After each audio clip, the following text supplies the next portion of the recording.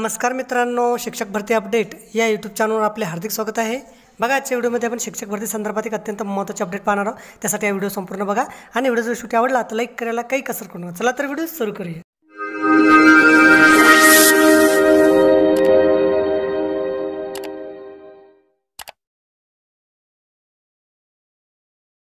तर बघा पहिली बातमी आहे रिक्त पदासंबंधी बघा सोलापूर जिल्ह्यात सामाजिक न्याय विभागाच्या वतीने दोन शाळा चालवण्यात येतात.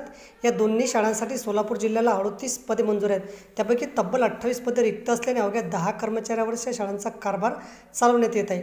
या दोन्ही शाळांमधील मुख्याध्यापकाची पदे रिक्त आहेत. या शाळांमध्ये प्राथमिक शिक्षणासाठी सहा शिक्षकांची आठ पदे मंजूर असली त्यातील सहा पदे रिक्त आहेत.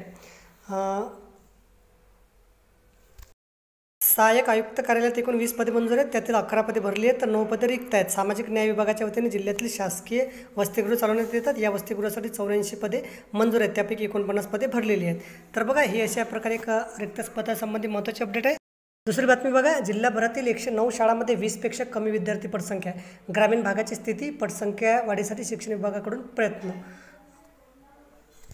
विद्यार्थ्यांची पटसंख्या वाढावी यासाठी जिल्हा परिषद आरोग्य विभागाकडून विशेष प्रयत्न केले जात आहेत. असे असले तरी जिल्ह्यातील वाडा तांडे वस्त्यावरील जिल्हा परिषदेच्या एकशे नऊ शाळांमधील विद्यार्थ्यांची पटसंख्या वीसपेक्षा कमी आहे. मध्यंतरी इंग्रजी शाळांचे पेव फुटले आणि पालकांचा ओढा इंग्रजी शाळाकडून वाढू लागला. खाजगी इंग्रजी शाळांमध्ये वार्षिक हजार रुपयाची फी भरून पालक मुलांना शिक्षण देत होते. त्यामुळे घटणाऱ्या विद्यार्थी संख्येमुळे जिल्हा परिषद शिक्षण विभागाच्या वतीने विविध उपक्रम हाती घेण्यात आले होते. सेमी इंग्रजी वर्ग सुरू झाल्याने अनेक पालकांनी आपली मुलं जिल्हा परिषद शाळेत शिक्षणासाठी पाठवण्यास सुरुवात केली. अनेक उपक्रमशील शिक्षकांनी आपल्या उपक्रमामधून विद्यार्थ्यांना चांगल्या दर्जाचे शिक्षण देण्यास सुरुवात केली. त्यामुळे जिल्हा परिषद शाळाकडे पाहण्याचा पालकांचा दृष्टिकोन बदलला. विविध प्रकारच्या शिष्यवृत्ती असोत किंवा क्रीडा स्पर्धा असोत जिल्हा परिषद शाळेतील विद्यार्थी आपली शाप सोडत आहेत. कोरोनामुळे चालू वर्षात शाळा भरल्याच नाही तर शिक्षण विभागाच्या अहवालानुसार गत शैक्षणिक वर्षात जिल्ह्यातील एकशे नऊ शाळांमध्ये वीसपेक्षा कमी पटसंख्या आहेत. या शाळांमध्ये विद्यार्थ्यांची उपस्थिती वाढावी यासाठी गावस्तरावरील शिक्षणप्रेमीची मदत घेतली जात आहे.